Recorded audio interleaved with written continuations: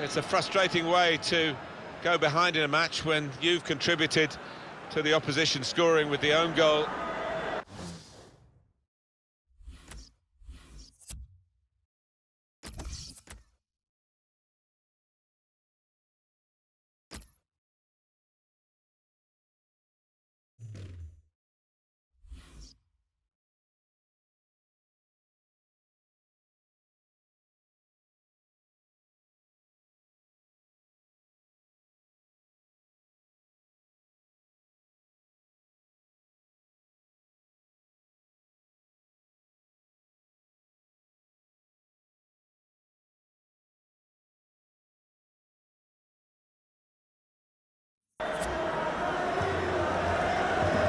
You're outplayed in midfield, it's a really tough ask in a match of this calibre.